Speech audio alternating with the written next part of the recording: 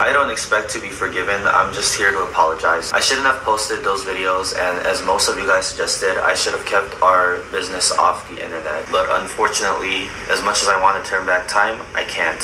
I cannot just undo the cheating, manipulating, taking advantage of, lying, abusing, running away, projecting, none of that. However, although it is late, I realize that my family needs me to stop victimizing myself. They need me to start taking responsibility.